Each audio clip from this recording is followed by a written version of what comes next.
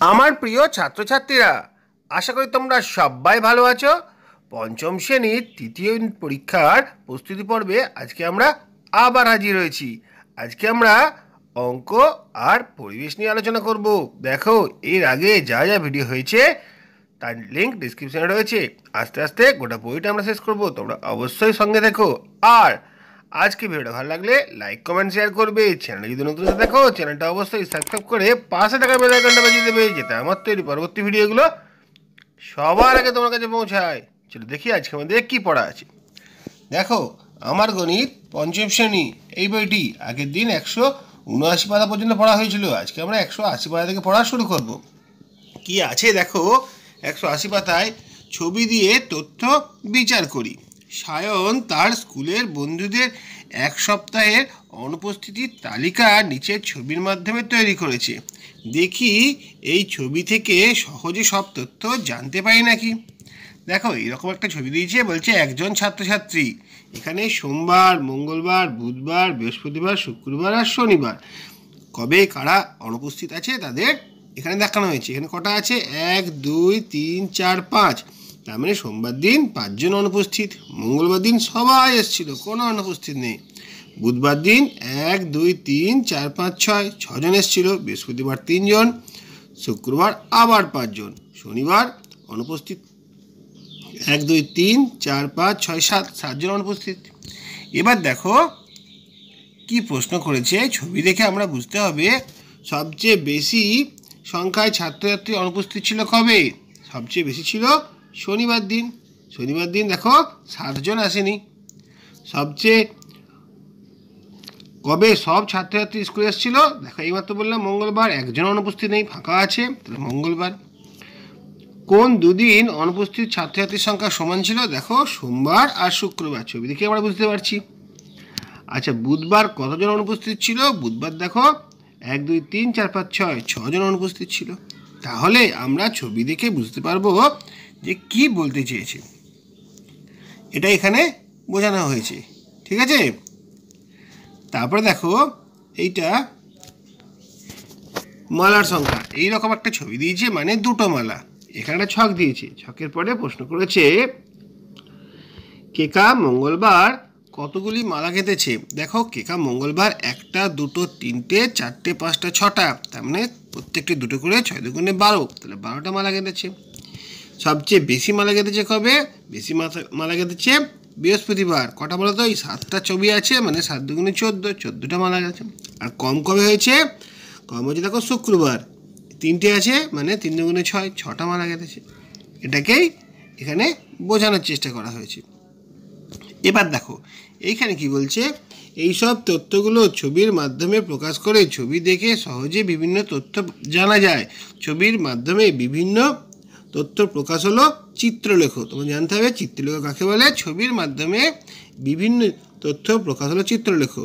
চিত্রলেখ কোথায় কাজে লাগে চিত্রলেখ ম্যাগাজিন বা পত্রিকায় পাঠকদের দৃষ্টি আকর্ষণ করার জন্য কাজে লাগে। মানে আরও কিছু আছে যেগুলো আমরা পরে ব্যাখ্যা করতে পারি। চলো।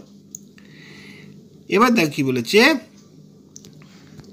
হুগলির রাজবল্লভ হাটে এক তাঁতি, তাঁতের তৈরি ছ মাসের শাড়ির সংখ্যা চিত্রলেখার সাহায্যে প্রকাশ করা হলো। দেখো, এরকম মানে ছটা শাড়ি।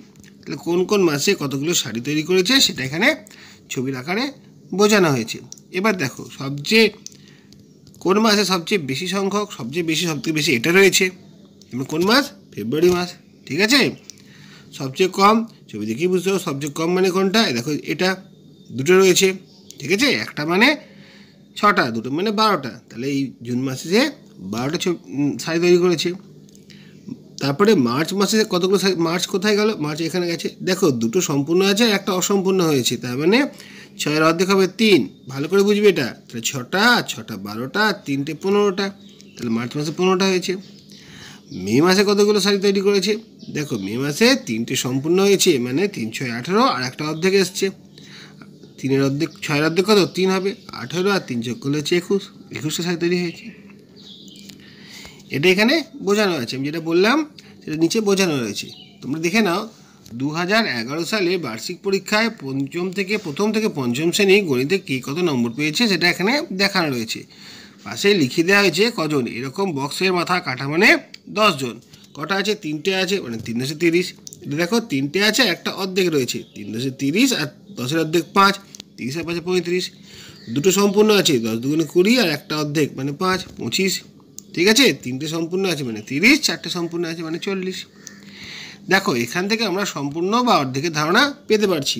কোন কোন শ্রেণি ছাত্রছাত্রীরা বার্ষিক পরীক্ষায় গণিতে সবচেয়ে বেশি নম্বর পেয়েছে? দেখো, চারটে আছে, ঠিক আছে? চল্লিশ নম্বর, চল্লিশ জন পেয়েছে। তাহলে পঞ্চম শ্রেণীটা সঠিক উত্তর। কোন শ্রেণির ছাত্রছাত্রীরা বার্ষিক পরীক্ষায় গণিতে সবচেয়ে কম নম্বর পেয়েছে? সবথেকে ছোটো কোনটা আছে? দেখো, এখানে দুটোর পর অর্ধেক রয়েছে। তাহলে পঁচিশ মানে তৃতীয় শ্রেণি। ঠিক আছে? তৃতীয় শ্রেণির এখানে উত্তর হলো। দ্বিতীয় শ্রেণির ছাত্রছাত্রীরা বার্ষিক পরীক্ষায় কত নম্বর পেয়েছে? দ্বিতীয় শ্রেণি মানে তিনটে সম্পূর্ণ, দেখো, দশ দশ দশ, তিরিশ আর একটা অর্ধেক। দশের অর্ধেক পাঁচ, পঁয়ত্রিশটা। পঁয়ত্রিশ জন, তাহলে সবচেয়ে কম নম্বর পেয়েছে। একই রকমভাবে পুতুলের সংখ্যা দিয়ে এখানে বিচার করা হয়েছে। দেখো, সোমবার কত, মঙ্গলবার কত সব বলা রয়েছে। এবার বলেছে কোশ্চেন রবিবার কতগুলো পুতুল তৈরি করেছে? রবিবার একটা, দুটো, তিনটে, চারটে, পাঁচটা। একটা মানে হচ্ছে কুড়িটা, তাহলে পাঁচ কুড়ি একশো আর একটা অর্ধেক হয়েছে। কুড়ির অর্ধেক হবে, ঠিক আছে? কুড়ি অর্ধেক দশ। দেখো, এখানে দেখা রয়েছে পাঁচ গুণিত কুড়ি, একশো, তার সঙ্গে দশ যোগ করে একশো দশ। রবিবার দিন কটা পুতুল তৈরি হয়েছে? একশো দশটা পুতুল তৈরি হয়েছে। শুক্রবার দিন কটা গেছে দেখো, শুক্রবার দিন একটা, দুটো, তিনটে, চারটে, চার, কুড়ি, আশি, আর কুড়ি অর্ধেক দশ, আশি আর দশে নব্বই তাই নব্বইটা শুক্রবার তৈরি হয়েছে। রবিবার তুলনায় শুক্রবার কতগুলো বেশি হয়েছে? একশো দশ থেকে নব্বই বিয়োগ দিলে কুড়ি হবে। ঠিক আছে? এভাবেই আমরা এটা বুঝছি। তারপরে দেখো, সবচেয়ে বেশি সংখ্যক পুতুল কবে তৈরি হয়েছে? এইমাত্র দেখলাম। ভালো করে তোমরা দেখো, সবচেয়ে বেশি কবে হয়েছে? এটা সব থেকে বেশি হয়েছে, একশো দশ, রবিবার। সেই প্রশ্ন উত্তর এখানে লেখা রয়েছে। সবচেয়ে কম কবে হয়েছে? দেখো, সবচেয়ে কম হয়েছে শনিবার। ঠিক আছে? ছবি দেখে আমরা বুঝতে পারছি। তিনটে সম্পূর্ণ, একটা অর্ধেক মানে তিন কুড়ি ষাট আর দশ হচ্ছে সত্তর। শনিবার সবচেয়ে কম হয়েছে। তারপরে বৃক্ষরোপণ দিয়ে একই রকম প্রশ্ন তোমাদের ভালো করে অনুসরণ করার জন্য এটা দেওয়া হয়েছে। বারবার একই জিনিস তোমাদের শেখানো হচ্ছে। চলো এটা আমরা ভালো করে বুঝে নিই। সবচেয়ে বেশি গাছ লাগানো হয়েছে কবে? ছবি দেখো, ছবি দেখলেই বুঝতে হবে সবচেয়ে বেশি লাগানো হয়েছে সোমবার, ঠিক আছে? সবচেয়ে কম গাছ লাগানো হয়েছে কবে? সবচেয়ে কম গাছ লাগানো হয়েছে বৃহস্পতিবার, কটা লাগানো হয়েছে? দুটো। দেখো, একটা মানে হচ্ছে আটটা দুটো মানে হবে ষোলোটা, আর আটের অর্ধেক চার, ষোলো আর চারে কুড়িটা। শুক্রবার কটা লাগানো হয়েছে? শুক্রবার লাগানো হয়েছে এক, দুই, তিন, চার, পাঁচ, ঠিক আছে? পাঁচ আটটে চল্লিশ, আর একটা আটের অর্ধেক চুয়াল্লিশ লাগানো হয়েছে। আর মঙ্গলবার বুধবারের মধ্যে বেশি লাগানো কবে হয়েছে? দেখি নাও। মঙ্গলবার আর বুধবার। দেখেই বোঝা যাচ্ছে মঙ্গলবার। এখানে সব সমান আছে, একটা বেশি আছে, একটা বেশি আছে মানে আটটা বেশি আছে। তাহলে আটটা বেশি লাগানো হয়েছে। ছবি দেখেই আমরা বলে দেবো। বিশেষ কিছু এখানে হিসেব করার ব্যাপার থাকে না। আবার দেখো, চায়ের পেটিতে চায়ের সংখ্যা। কটা চায়ের প্যাকেট আছে? এরকম মানে হচ্ছে একশোটা। কটা কটা হচ্ছে এখানে? গুণে বলা রয়েছে। অর্ধেকটা মানে একশোর অর্ধেক হবে পঞ্চাশ। ঠিক আছে? এরপরে কি প্রশ্ন আছে? দেখো। কবে সবচেয়ে বেশি চা প্যাকেট তৈরি হয়েছিল? শনিবার। কী করে শনিবার হচ্ছে একবার দেখে নিই। দেখো।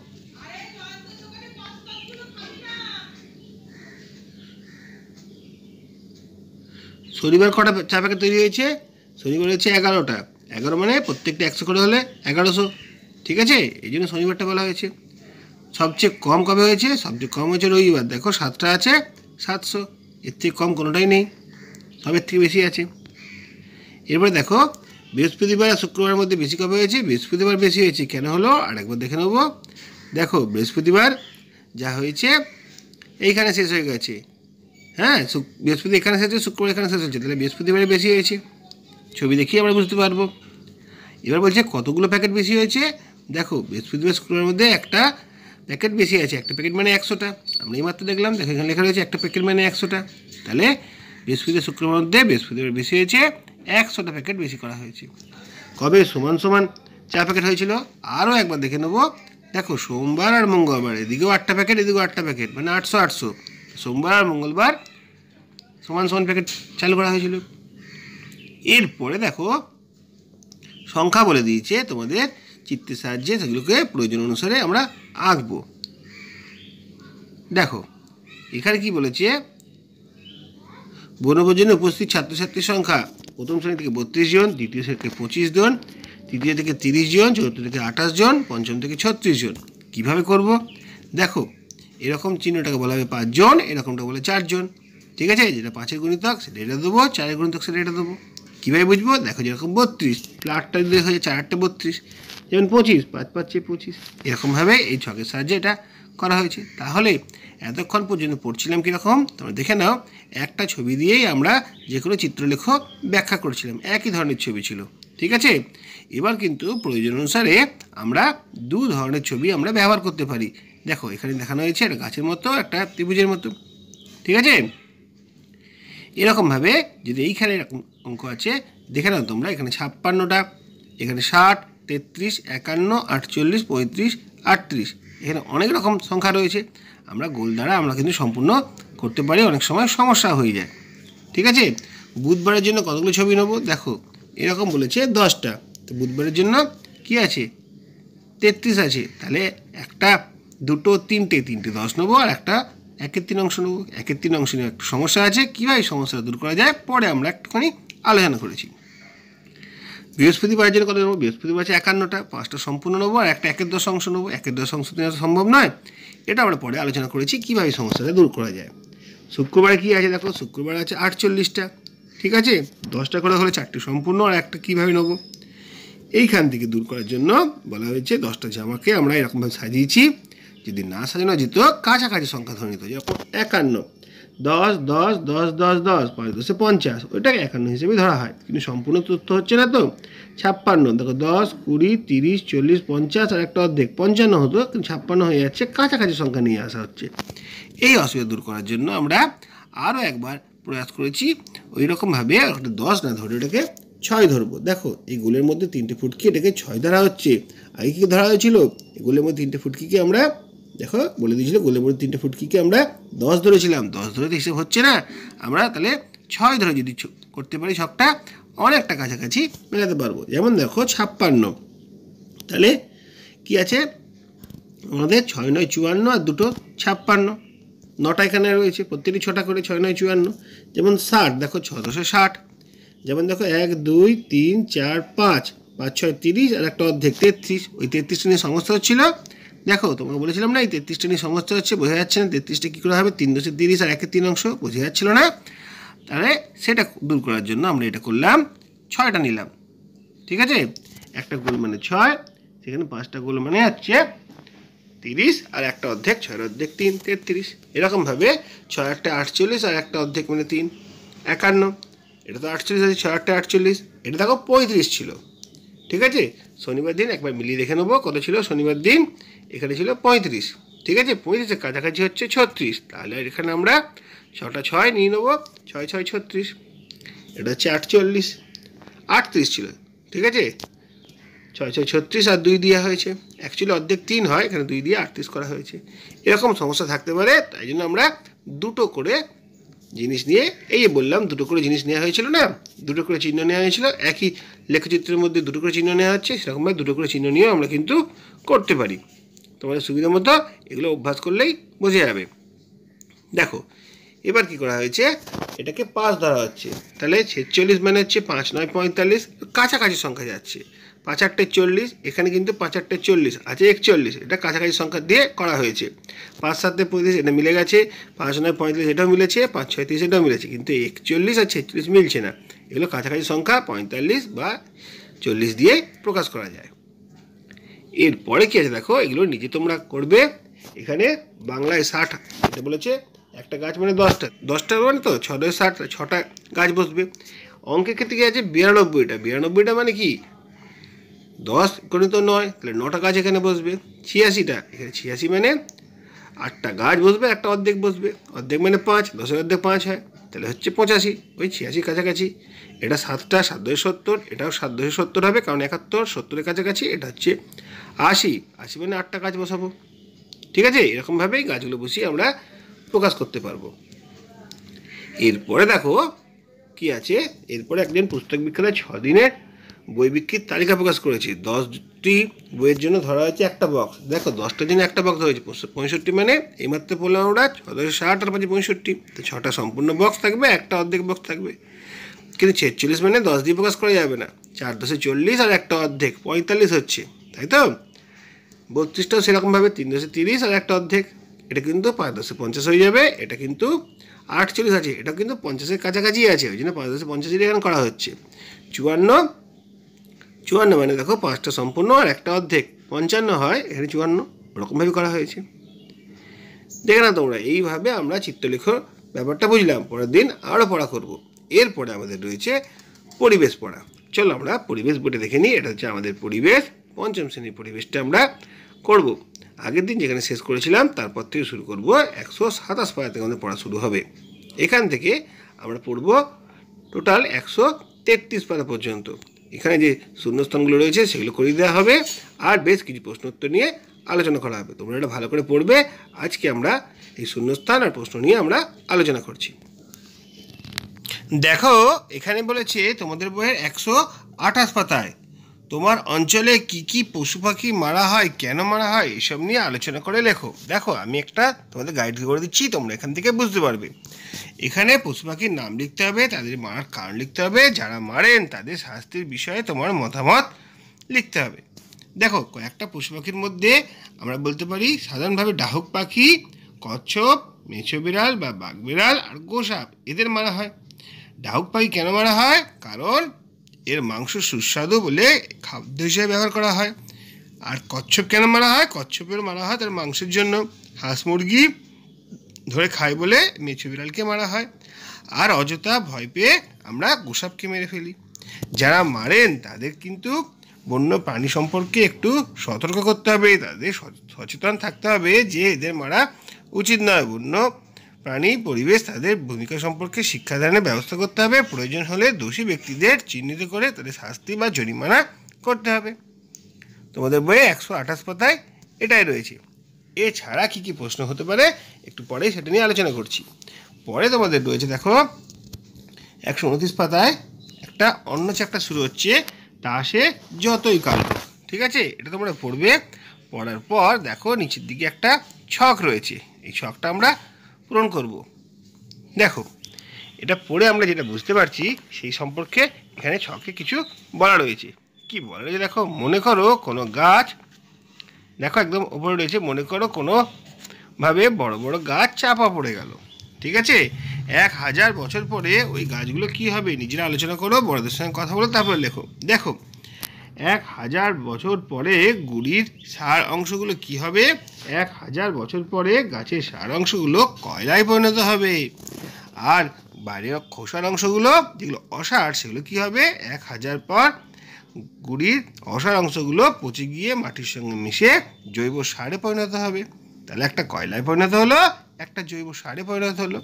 এটা কিন্তু তোমাদের একশো তিরিশ পাতায় ছকটা তোমাদের বলে দিলাম। এরপরে দেখো আরও কিছু রয়েছে, সেটা নিয়ে বলে দিচ্ছি। নিচের দিকে দেখতে পারব আমরা, কয়লার দূষণ আমরা পড়ে নেব। এবারে এইখানে দেখো, দূষণের জন্য আমাদের কি কি ক্ষতি হতে পারে? যদি চোখে ধোঁয়া লাগে, কী হবে? চোখ জ্বালা করবে। ঠিক আছে? নিয়মিত চোখে ধোঁয়া লাগলে চোখ নষ্ট হয়ে যেতে পারে। শ্বাসের মাধ্যমে দেহের ভেতরে যদি কোনো ক্ষয়ক্ষতি হয়, তাহলে কী হবে? ফুসফুসের শ্বাসক্রিয়া দেখা যাবে, ফুসফুসের ক্ষতি হবে, ফুসফুসে ক্যান্সার সৃষ্টি হতে পারে। সৌধ বা স্থাপত্যের উপর প্রভাব কেমন পড়বে? মানে বড় বড় মনুমেন্ট যেগুলো রয়েছে, যেমন তাজমহল, ভিক্টোরিয়া মেমোরিয়াল হল, তার উপরে যদি কয়লা ধোঁয়া পড়ে, সেগুলো হলুদ বা কালো ছোপ ছোপ পড়ে যাবে, তার সৌন্দর্য নষ্ট হবে। গাছের পাতার উপর কেমন প্রভাব পড়বে? গাছের পাতার উপর একটা স্তর পড়ে যাবে, তাহলে তারা ভালোভাবে সংশ্লেষ নিতে পারবে না, তাদের অনেক ক্ষতি হতে পারে। বৃষ্টির জলের উপর কী প্রভাব পড়বে? বৃষ্টির জলের উপর তার প্রভাব পড়বে। আমাদের বৃষ্টি, জল মাটির উর্বরতা নষ্ট করে দেবে। ঠিক আছে? এভাবেই এই ছকটা আমরা পূরণ করলাম। তোমরা দেখে নাও। আরও একটা রয়েছে। দেখো, নিচের দিকে। আজকে আমরা এই একশো তেত্রিশ পাতা পর্যন্তই পড়ব। দিয়ে প্রশ্ন উত্তরে ঢুকবো। সমস্যা মোকাবিলায় কী করা যায়? কয়লা খনি যেখানে ধস নামে। কি করতে পারো? খনি অঞ্চলে প্রচুর গাছ লাগাতে হবে আর কয়লা তোলার পর ফাঁকা জায়গায় বালি বা মাটি দিয়ে ভরে দিতে হবে। এখানে তুমি একটা ছবি দেবে। এরপর আমরা প্রশ্নোত্তরে ঢুকে যাই। প্রথম প্রশ্ন, রবীন্দ্রনাথ যখন লিখেছিলেন, বনে থাকে বাঘ তখন এদেশে কত বাঘ ছিল? এখন সেই বাঘের সংখ্যা কত? উত্তর হবে, রবীন্দ্রনাথের সময় এদেশে বাঘ ছিল চল্লিশ হাজারের বেশি। এখন সেই বাঘের সংখ্যা দু হাজারেরও কম। পরের প্রশ্ন, বাঘের সংখ্যা কমে যাওয়ার কারণ কি? উত্তরটা এমন হবে, আগেকার দিনে মানুষ বাঘ মারতো। বন্দুক দিয়ে বাঘ মারতে পারলে লোকজন তাকে বীর ভাবতো। নিজে বাঘ মেরেছে, এমন ছবি ঘরে টাঙিয়ে রাখত। বন্য জীবজন্তু শিকার করা তখনকার মানুষের স্বভাব ছিল। তাই শুধু বাঘ নয়, অনেক বন্য জন্তুর সংখ্যা আগের থেকে বর্তমানে কমে গেছে। পরে প্রশ্ন, দেখো, হুইয়া পাখি কেন মারা হতো? পাখিটির পালক ছিল খুব সুন্দর, সেই পালক ঘরে রাখবে বলে মানুষ তাকে মেরে ধ্বংস করে দিয়েছে। পরে প্রশ্ন, গন্ডারকে কি জন্য মারা হতো? গন্ডারকে তার খড়গের জন্য মারা হতো। আর শিকারীরা কেন হাতি শিকার করত? হাতির দাঁতের জন্য শিকারীরা তাকে হাতি শিকার করতো। নেক্সট কোশ্চেন দেখো পশ্চিমবঙ্গের কোথায় কয়লা খনি আছে? পশ্চিমবঙ্গের রানীগঞ্জে কয়লা খনি আছে? রানীগঞ্জ কোথায় অবস্থিত? বর্ধমান শহর থেকে পশ্চিমে আরও আশি নব্বই কিলোমিটার দূরে রানীগঞ্জ অবস্থিত। গোলমুখ খনিগুলো কোনগুলো? পুকুরের মতো দেখতে কয়লা খনিগুলোকে গোলমুখ খনি বলা হয়। মাটির কত গভীরে কয়লা পাওয়া সম্ভব? মাটির থেকে প্রায় পাঁচশো মিটার গভীরে কয়লা পাওয়া সম্ভব হয়েছে। পশ্চিমবঙ্গের প্রধান খনিজ সম্পদ কি? পশ্চিমবঙ্গের প্রধান খনিজ সম্পদ হলো কয়লা। কাঠ কয়লা কীভাবে তৈরি হয়? জ্বলন্ত কাঠে জল দিয়ে বা বস্তা চাপা দিয়ে কাঠের আগুন নিভে যায়, কিন্তু ওর মধ্যে জ্বালানি থেকে যায়। এভাবেই কাঠ কয়লা তৈরি হয়। পরে প্রশ্ন কাঠ কয়লা কী কাজে লাগে? তুবড়ি বানাতে কাঠ কয়লা কাজে লাগে। তেরো নম্বর প্রশ্নটা আছে, কয়লা খনি অঞ্চলের সবচেয়ে বড় সমস্যাগুলি কি কি? কয়লা খনি অঞ্চলের সবচেয়ে বড় সমস্যা হলো পরিবেশ দূষণ এবং ধস নামা চোদ্দ নম্বর প্রশ্ন, পরিবেশ দূষণ রোধে কী করা উচিত? পরিবেশ দূষণ রোধে প্রচুর পরিমাণে গাছ লাগানো উচিত এবং গাছ কাটা বন্ধ করা উচিত। পনেরো নম্বর প্রশ্নটি খেয়ে দেখানো কি কাজ করলে ধসনামা কিছুটা এড়ানো যেতে পারে? কয়লা খনি থেকে কয়লা তুলে নেওয়ার পর ফাঁকা জায়গায় মাটি এবং বালি দিয়ে ভালোভাবে ভরাট করতে হবে, তাহলে ধসনামা কিছুটা এড়ানো যেতে পারে। দেখো, আজকে একশো সাতাশ পাতা থেকে একশো তেত্রিশ পাতা পড়ানো হলো। এর মধ্যে যা যা প্রশ্ন আছে সেগুলো তোমাদের সামনে হাজির করলাম। যদি আজকে ভিডিওটা ভালো লাগে লাইক কমেন্ট শেয়ার করবে। চ্যানেল যদি নতুন থাকো চ্যানেলটা অবশ্যই সাবস্ক্রাইব করে পাশে থাকা বেল আইকনটা বাজিয়ে দেবে। যাতে আমার তৈরি পরবর্তী ভিডিওগুলো সবার আগে তোমার কাছে পৌঁছায়। তোমরা প্রত্যেকে ভালো থাকবে।